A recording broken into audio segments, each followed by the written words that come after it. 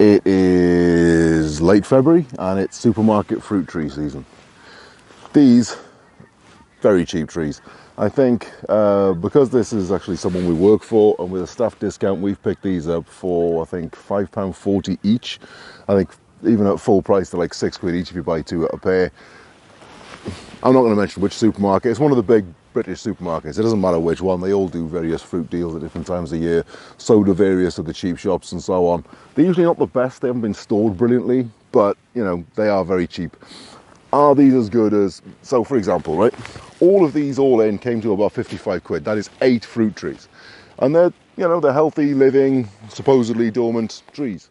Come to that in a minute for the same price, I could get one, maybe one and a half trees from a UK nursery. They, these aren't anything like the quality that you'd get from a nursery. Absolutely not.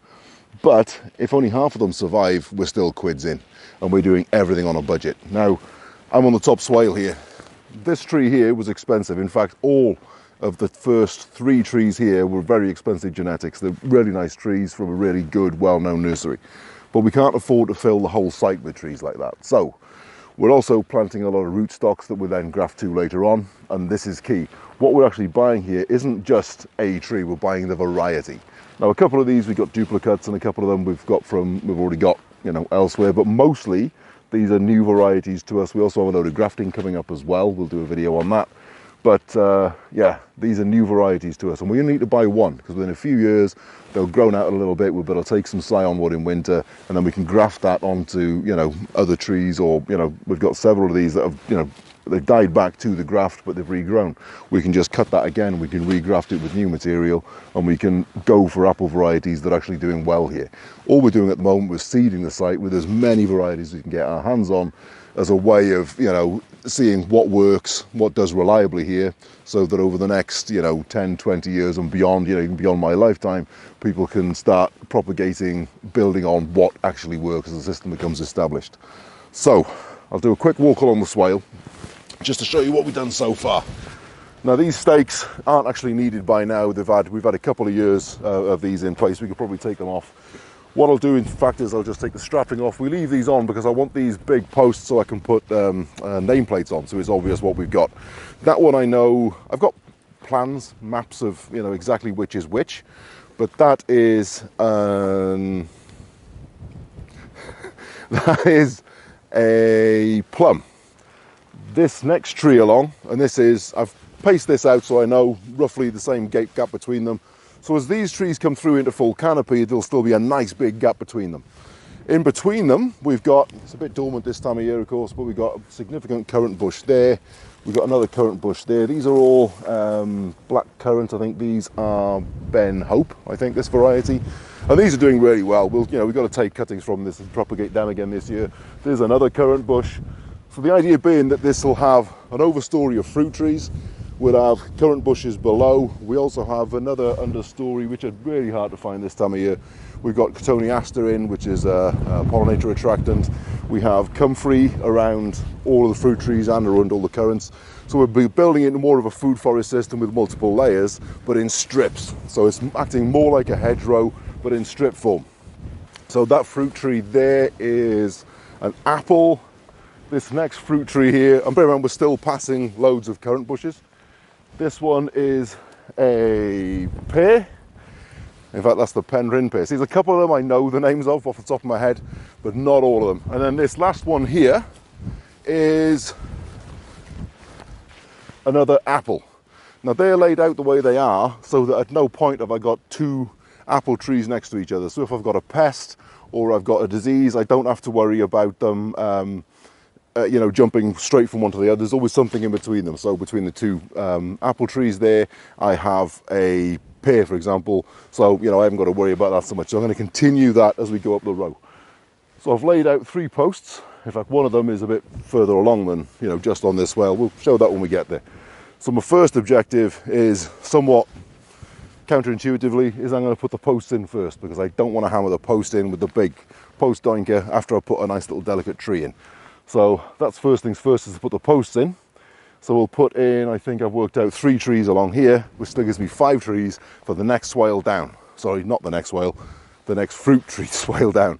So the next one down is actually got sea buckthorn being established, and then the next one down from that is another top fruit swale, just like this one. I've got two, actually, I've got two um, crab apple that have been planted onto that one. They're going to be grafted sometime in the next week or so with um, uh, name cultivar genetics that we've got as Scion wood. We're going to be doing a lot of grafting. It's not something I've done before, it should be interesting.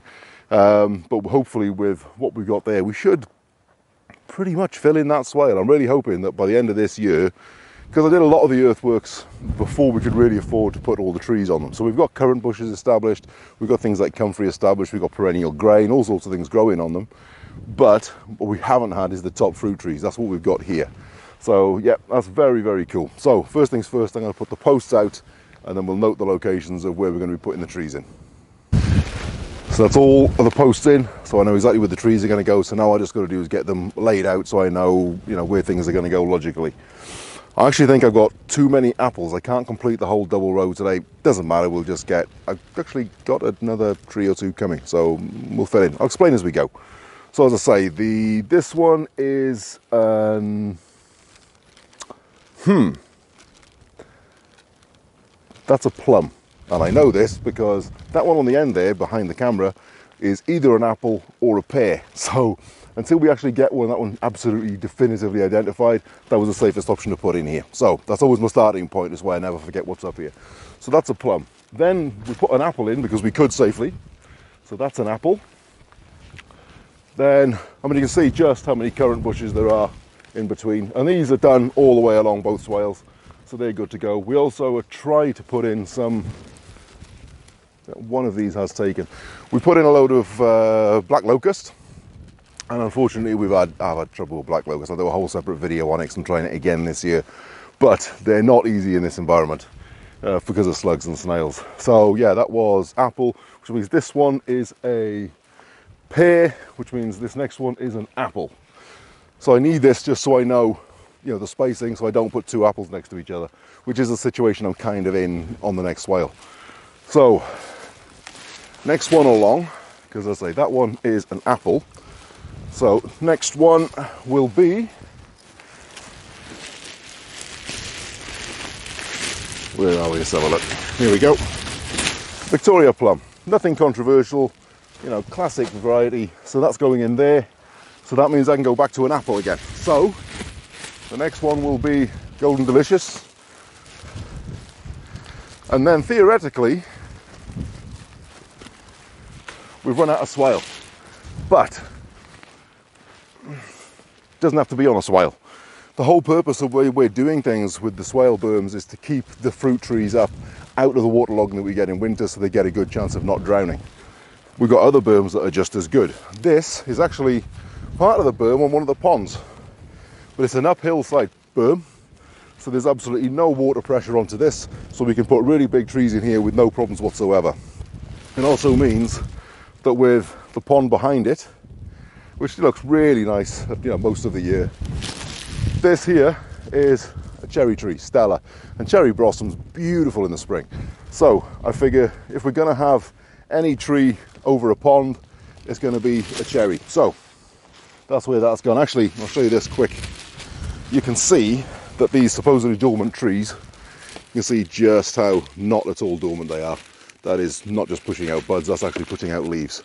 We're not necessarily out of winter yet. We might get snow, if we're likely to get snow again yet. Those are likely to get burned off, but hopefully they'll regenerate and they'll survive. We've done it before, we got away with it, but realistically, you know, it is a risk. Um, with them being from a supermarket, they're not kept in optimal conditions. You know, the people that are looking after them, you know, supermarket staff, you know, they're not nursery staff. They haven't been trained, so, you know, things happen. So unfortunately, they've been kept a bit too warm and they've actually broken dormancy. No big deal. Uh, we'll plant them in anyway and see how they do. The plum and the cherry seem to be the most susceptible to it, um, but we'll see. Uh, they'll probably be absolutely fine. And if not, there's every chance that the rootstock will survive, put up a new shoot and we can just regraft to it later in the season. Yeah, well, not later in the season, in a couple of years time, uh, when it's had a chance to grow out. So that is actually the top swale completed. Now I just need to stick them in. So I'll show you what we're doing on the next swale. So I've already made a start on this swale previously. This here is a crab apple, which you can see is broken into what, three, four different good sized sticks so we can actually graft to that this year. That's what we're going to do in a couple of days probably, maybe next week at the latest. So that I'm just leaving well alone as an apple. So the next position, it's all been factored in in terms of spacings, but the next position I want something that's not an apple. So what I've gone for, and bearing in mind that between this fruiting swale and the next fruiting swale, I've got a whole one that is just entirely sea buckthorn. So we've got that break there, so it's not a problem. But I think next we'll go for, I'm running out of ones that aren't apple is the problem. That is a conference pear, I think. Yep. So the next one is another crab apple that we're going to graft to. So again, you know, really strong, really hardy. It's actually been transplanted once. It's taken it. It's done it really well. So we'll cut it at roughly, you know, that sort of height, and we'll put uh, a new top on it. But again, that means I'm, you know, a significant chunk along this swale, and I've only used one tree. So this one really needs to be something that isn't an apple. And I think I only have one option left. If I'm right, there it is. Another Victoria plum. So that'll go down. And that just leaves me with three apples, which isn't ideal. So we'll see how it works out because obviously with that one being a plum, the next one can be an apple. We've got a lot of apple trees because they're just so versatile.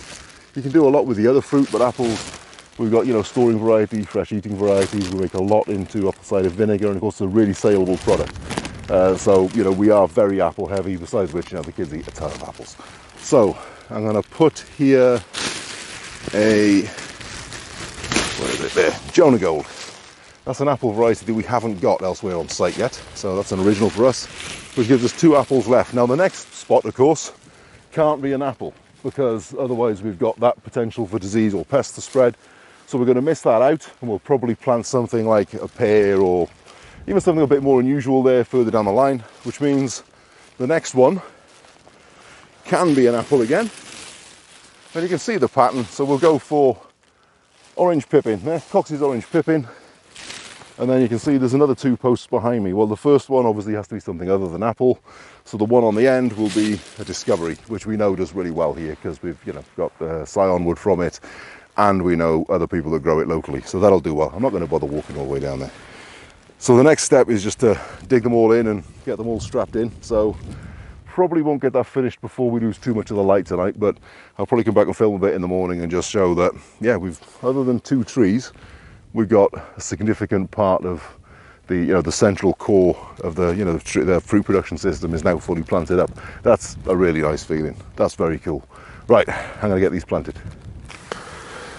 So I did get them all planted last night. This is the next day. So I've got them all on. I've got rodent guards onto them. Voles are the biggest issue here. Uh, it's had a particularly bad vole winter. Uh, but uh, yeah, this will keep them off. It's not a problem.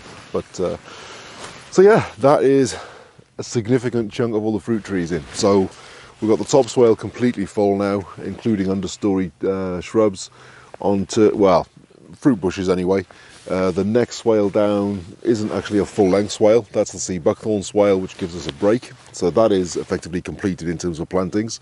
There's one or two have failed that need swapping out, but you know, we've got them, we're all good to go. You know, we haven't got to make any decisions there or, you know, plant anything different.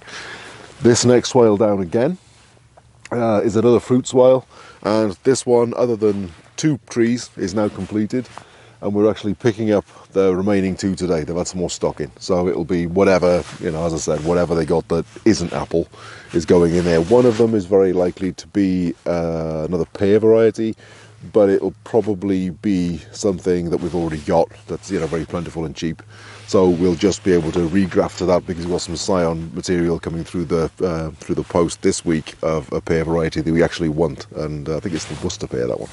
So that's one that we've got. I'm going to try in a few places, but that gives us at least you know a graft to try this year because we might as well. We leave you know a little bit of a gap of so that if the the graft does fail, we're not back to the original graft. You know, so we've still got you know a good pear variety coming through.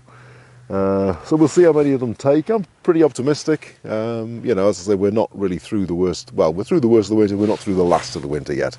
So we could easily get some very, very cold nights. We could still get some snow. We could get a few storms still, but we'll see. Um, if a couple of them fail, we're still quids in in terms of cost because you know they're well as I say five pound fifty each compared to you know 30 40 50 pounds sometimes um, as I say they're not the best quality but they are the right price. So we'll see how we get on with them. Um, the ones we put in previous they've been pretty happy with them. You know they're all perfectly healthy they're all doing well.